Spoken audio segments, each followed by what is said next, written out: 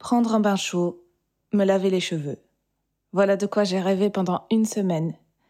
Et puis, enfin, le moment venu, après 23 heures de voiture, j'hésite. Je dirais presque que ça me dégoûte. Je me sens étrange. Mes cheveux sentent encore le feu de bois et le mouton grillé qu'on a mangé à notre dernière soirée à Beika Dejos, en Transylvanie, en Roumanie. J'ai pas envie de me laver, de me défaire de cette odeur. Je suis pas prête. On était une vingtaine de musiciens belges, partis nous imprégner de musique roumaine chez le violoniste Marcel Ramba. Nous avions suivi à l'aveugle Nicolas Hauser, ce passionné, ce connecteur de gens. J'étais partie en voiture de Liège avec trois amis.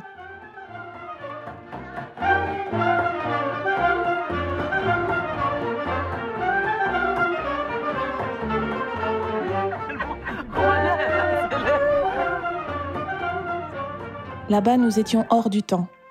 Nos montres ne servaient plus à rien. Il n'y avait pas d'horaire. Nous commencions à jouer quand tout le monde était debout.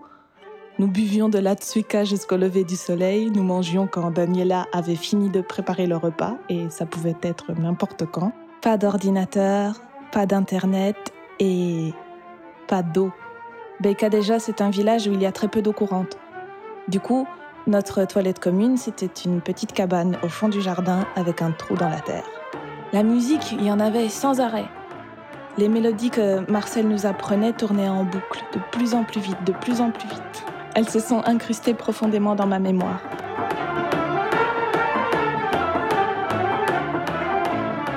Et puis les gens, les gens d'une sensibilité et d'une ouverture qu'on a oubliées. Ils nous touchaient sincèrement.